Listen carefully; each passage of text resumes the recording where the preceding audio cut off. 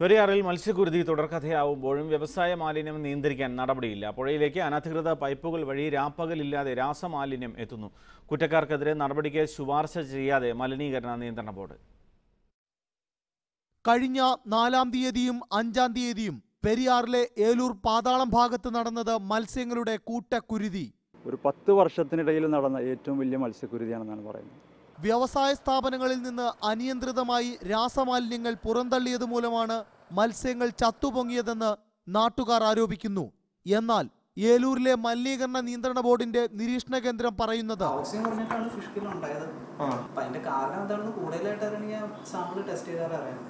Oxygen എങ്ങനെ കുറഞ്ഞു? നമ്മൾ എന്തെങ്കിലും ഒരു ആക്ഷൻ എടുക്കാൻ നമുക്കൊരു തെളിവ് വേണം. കാരണം ദിവസവും നമ്മ പൊല്യൂഷൻ കണ്ട ബോർഡ് എല്ലാ പോയിന്റിൽ നിന്ന് അപ്സ്ട്രീം ഡൗൺ സ്ട്രീം സാമ്പിൾ എടുക്കുന്നുണ്ട്. ആ സാമ്പിൾ ടെസ്റ്റിനകത്ത് നമുക്ക് ഈ പറയുന്ന പോലെ ഒരു സൃഷ്ടിയുള്ള വിധത്തിലുള്ള ഒരു കെമിക്കലും കിട്ടിയിട്ടില്ല. പെരിയാറിന്റെ കുരുതിക്ക് കാരണമന്വേഷിക്കുന്നവർ ഈ ദൃശ്യങ്ങളൊന്ന് വന്ന് കാണണം. പെരിയാറിലേക്ക് തുറന്നു വെച്ച മാലിന്യ കുഴലുകളാണിത്. ആലങ്ങാട്ടെയും എടയാറിലെയും ആയിരക്കണക്കിന് ആളുകൾക്ക് കുടിവെള്ളം കുടിവെള്ളമെടുക്കുന്ന മുപ്പത്തടം പമ്പ് ഹൗസ് ഇവിടെ നിന്നും രണ്ട് കിലോമീറ്റർ മാത്രം അകലെ. ജനുവരിയിലും പെരിയാറിൽ മത്സ്യക്കുരുതി നടന്നിരുന്നു.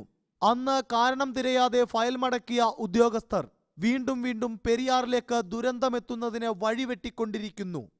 കൊച്ചിയിൽ നിന്നും അഞ്ജുരാജ് ഏഷ്യനെറ്റ് ന്യൂസ്.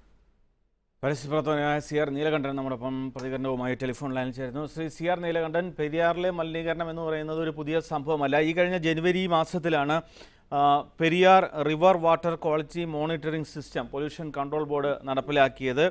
എല്ലാ ആഴ്ചയിലും പെരിയാറിലെ ജലവും അതുപോലെ തന്നെ വായുവും പരിശോധിച്ച് ഇതിന്റെ ഫലം Eloor F A C T ജംഗ്ഷനിൽ പ്രദർശിപ്പിക്കുമെന്നാണ് അന്ന് ഈ സംവിധാനം ഉദ്ഘാടനം ചെയ്തുകൊണ്ട് അറിയിച്ചത്. ഏതായാലും ആ സംവിധാനങ്ങൾ ഫലപ്രദമായി നടക്കുന്നില്ല എന്നാണോ മനസ്സിലാക്കേണ്ടത്? തീർച്ചയായിട്ടും. അല്ല പൊല്യൂഷൻ കൺട്രോൾ ബോർഡുകാർ എന്തൊക്കെ അവകാശപ്പെട്ടാലും അവർക്ക് ശമ്പളം കിട്ടാനുള്ള ഒരു സ്ഥാപനം എന്നതിനപ്പുറം പെരിയാറിനെ സംരക്ഷിക്കാൻ അവരെ കൊണ്ട് ഒന്നും ചെയ്യാൻ കഴിയില്ല എന്ന് നമുക്ക് കഴിഞ്ഞ മുപ്പത് വർഷം കൊണ്ട് ബോധ്യമായതാണ്. ഓരോ ദിവസവും ബോധ്യമായിക്കൊണ്ടിരിക്കുന്നു. ഇപ്പൊ നേരത്തെ നിങ്ങളുടെ റിപ്പോർട്ടർ പറഞ്ഞ ഒരു കാര്യം. നൂറുകണക്കിന് കുഴലുകൾ പെരിയാറിലേക്ക് കമ്പനികൾ വച്ചുകൊണ്ടിരിക്കുന്നു. ഈ കുഴലുകളിൽ നിന്ന് എന്താണ് പുറത്തു വരുന്നത് എന്ന് ബഹുമാനപ്പെട്ട ഈ ഉദ്യോഗസ്ഥർ എപ്പോഴെങ്കിലും പരിശോധിച്ചിട്ടുണ്ടോ? പരിശോധിച്ചിട്ടില്ല എന്ന് മാത്രമല്ല അവർ പറയുന്നത് പെരിയാറിൽ വളരെ അത്ഭുതങ്ങളാണ്. പെരിയാറിലെ ചില ഇതുകൊണ്ടുണ്ടായ സംഭവമാണ്. ഇനി ഭൂ- ഭൂചലനമാണോ എന്ന് എനിക്കറിയില്ല. എന്തായാലും പെരിയ മാലിന്യം കൊണ്ടല്ല പെരിയാറിൽ മത്സ്യം ചത്തു പൊന്തുന്നത് എന്ന രൂപത്തിലാണ് പലപ്പോഴും ഇവരുടെ റിപ്പോർട്ടുകൾ വന്നിട്ടുള്ളത്.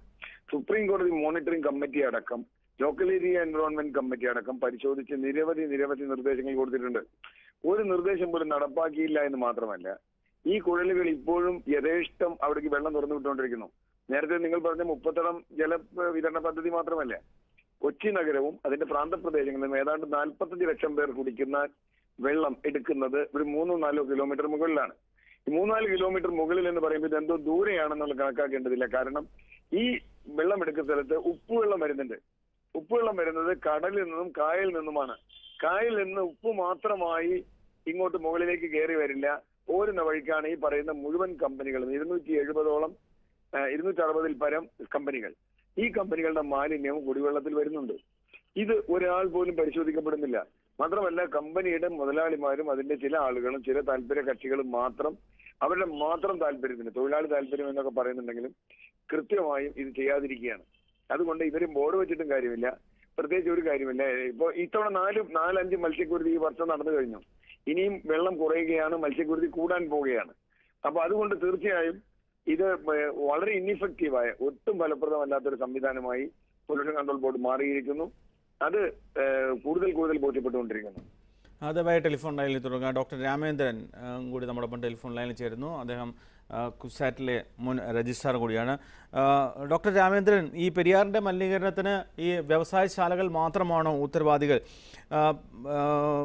ഖരമാലിന്യങ്ങളുടെ നിക്ഷേപവും പെരിയാറിന്റെ മലിനീകരണത്തിന് വലിയ രീതിയിൽ കാരണമാകുന്നില്ലേ? പൊല്യൂഷൻ കൺട്രോൾ ബോർഡ് തന്നെ ഇത് നിരീക്ഷിക്കുന്നതിനായിട്ട് എട്ട് നിരീക്ഷണ ക്യാമറകൾ പെരിയാറിന്റെ തീരത്തായിട്ട് സ്ഥാപിച്ചിട്ടുണ്ട് എന്നാണ് അറിയാൻ സാധിക്കുന്നത്.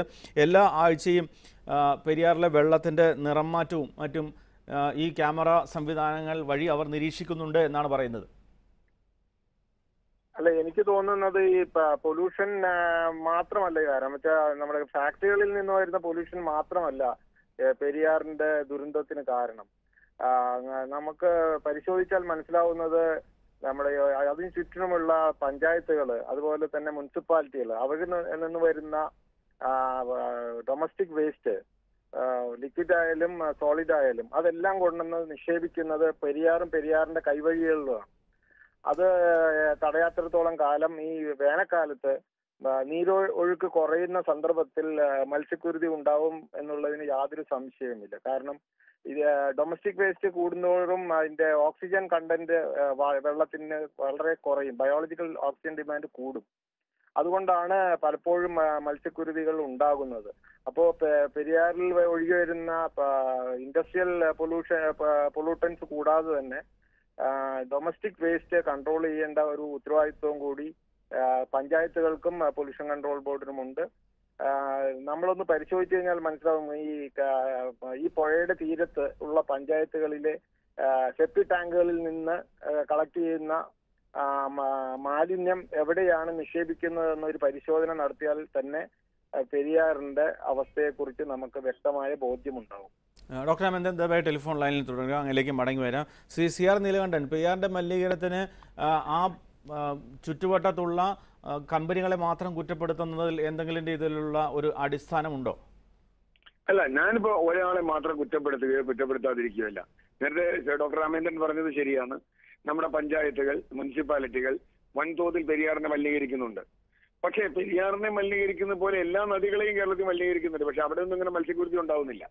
അതും പരിശോധിക്കണം. ഇപ്പൊ പമ്പയിലേക്കും ഭാരതപ്പുഴയിലേക്കും കേരളത്തിലെ എല്ലാ പുഴകളിലേക്കും നേരത്തെ ഡോക്ടർ രാമേന്ദ്രൻ പറഞ്ഞ പോലെ നമ്മുടെ നാട്ടിൽ ഇത്തരത്തിൽ വൻതോതിൽ മനുഷ്യ മലമടക്കമുള്ള മാലിന്യങ്ങൾ വരുന്നുണ്ട് എന്ന കാര്യത്തിൽ ഒരു തർക്കമില്ല അത് തടയപ്പെടേണ്ടതാണ്. നിർബന്ധമായും പഞ്ചായത്തുകളുടെ ജോലിയാണ്. അക്കാര്യത്തിലൊന്നും നമുക്ക് അഭിപ്രായ വ്യത്യാസമില്ല. പക്ഷേ ഇത്രത്തോളം കൂട്ടം മത്സ്യക്കുരുതി വരുന്നത് രാസവസ്തുക്കൾ വരുന്നത് കൊണ്ട് കൂടിയാണ് വെറും ബയോളജിക്കൽ ഓക്സിജൻ ഡിമാൻഡ് കൊണ്ട് മാത്രമല്ല എന്നതാണ് എന്റെ വാദം.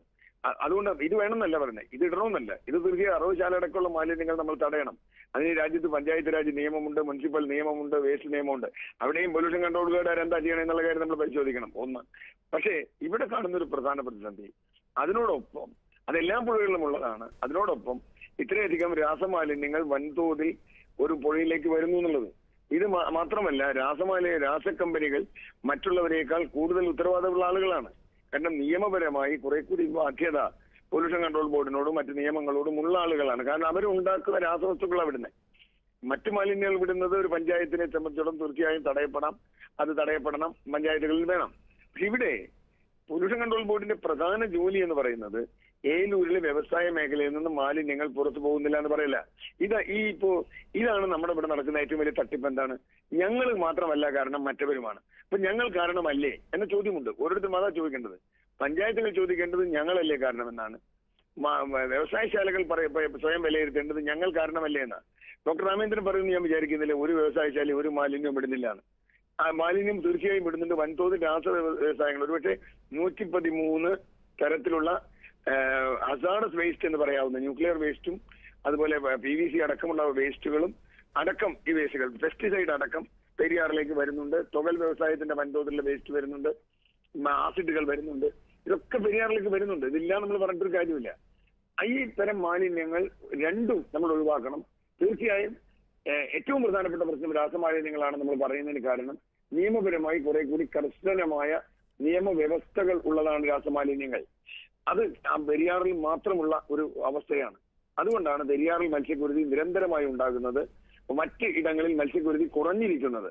ഇതേ മാലിന്യം ഇപ്പൊ പമ്പയിലുണ്ട് നെയ്യാറിലൊക്കെ ഉണ്ട്. പക്ഷെ അത്ര അവിടെയൊന്നും ഉണ്ടാവാത്തത്ര മത്സ്യക്കുരുതി പെരിയാറിൽ ഉണ്ടാവുന്നതിന് കാരണം രാസമാലിന്യങ്ങളാണ്.